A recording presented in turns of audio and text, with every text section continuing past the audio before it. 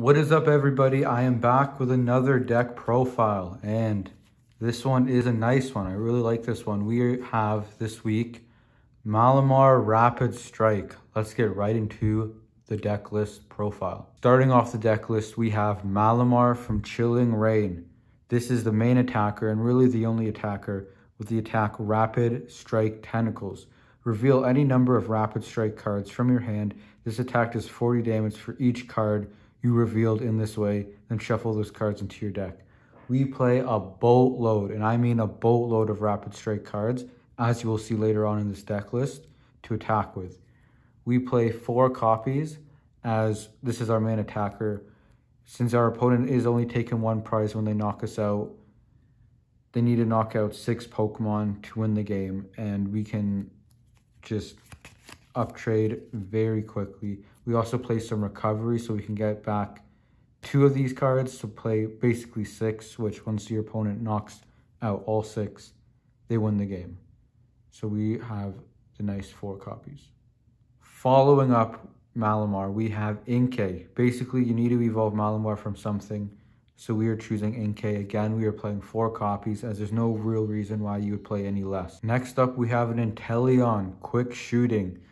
We'll use this mainly and only really for the ability, but you can use this to attack.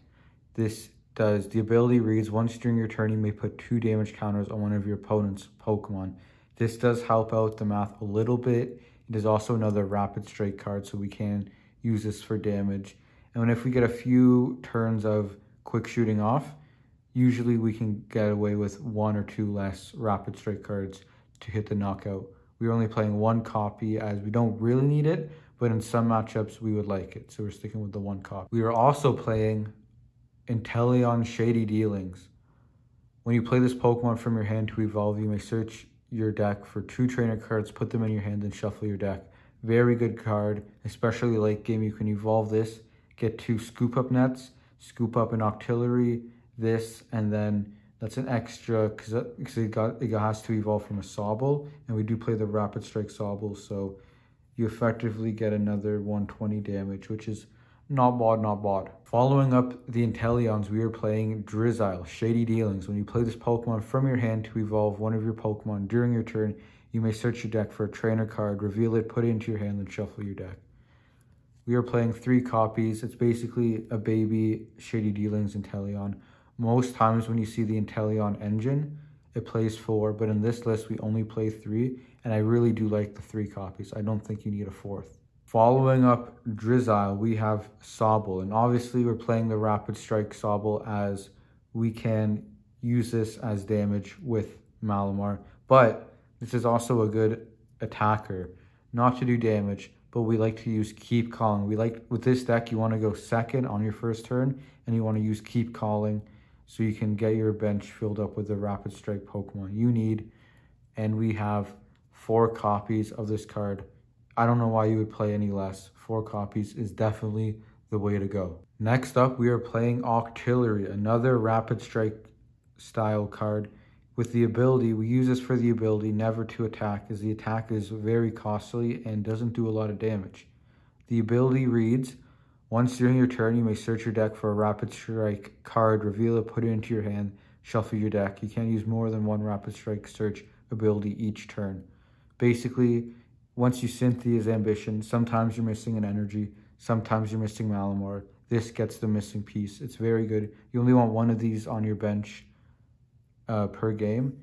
And we were playing two copies just in case we can't find it in this gives us better odds at finding it, even though we have lots of search and it also helps us in case we prize one copy. Following up the Octillery, we are playing Remoraid, another Rapid Strike card.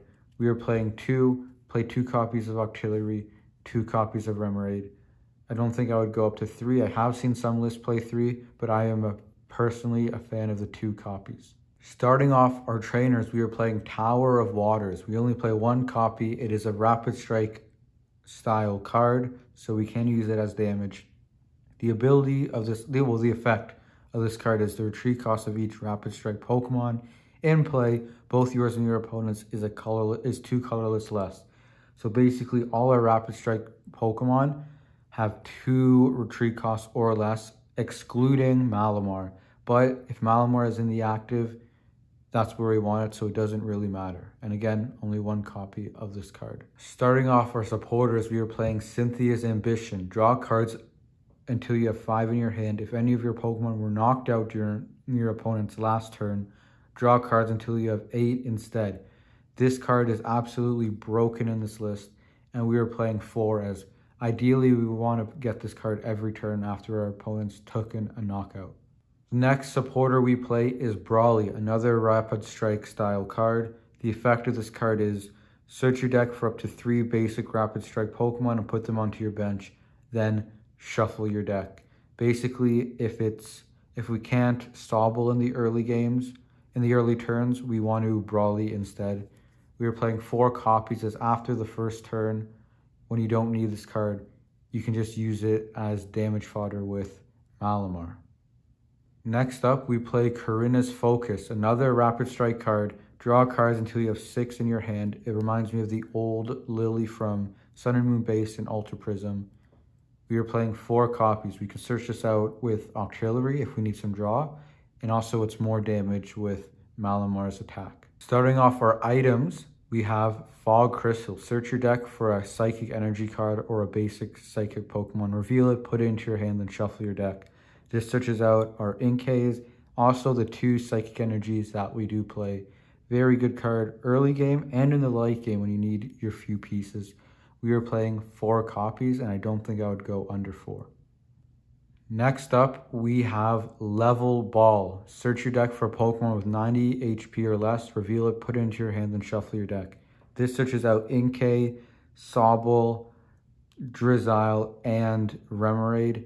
Very good card as we need that. I like to level ball for a Drizzile to get a Cynthia's Ambition after opponents knocked out a Pokemon. And we are playing four copies. It searches out literally half our deck. For a Pokemon wise, why would we not play four copies? Next up for items, one of my favorite items in this list, it's Scoop Up Net. Point of your Pokemon that isn't a V or GX into your hand. Discard all attached cards. Basically, the last turn of our game, if our opponent has a VMAX in the active, we can scoop up our whole board or bench and do a ton of damage. We are playing four copies. I really like the four copies in this list.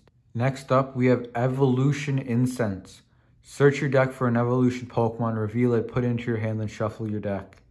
This searches out Malamar, Octillery, Drizzile, and both Inteleons. Very good card. We are playing four copies as this can get a lot of cards. We don't have to discard anything to use the effect. So we are staying with the four copies. Next up, we have a card you don't see too often, and that is Rescue Carrier. Put up to two Pokemon, each with 90 HP or less from your discard pile into your hand. This is really good at the late game when you just have two of these in hand and you want to do damage and you have a lot of basic poke or 90 HP or less Pokemon in your discard pile, you can essentially play this and it becomes a plus two rapid strike. So you're going to target the rapid strikes, obviously. And that becomes 80 damage. We are playing two copies and I really do like this card in the list. Next up, we are playing Escape Rope. Each player switches their active Pokemon with one of their bench Pokemon. Your opponent switches first. So it's basically a double switch. You can pick what Pokemon your opponent brings up, but sometimes your opponent leaves a three prize VMAX in the active. You have two prizes left and you just want to hit anything else on the bench but the VMAX in the active. You can play this and it's basically kind of like a boss's orders per turn. We're only playing one copy of this card. And the final item in this list is Ordinary Rod.